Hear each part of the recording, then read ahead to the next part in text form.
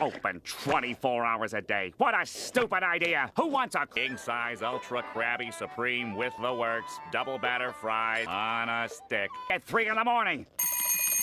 Oh boy, 3 a.m.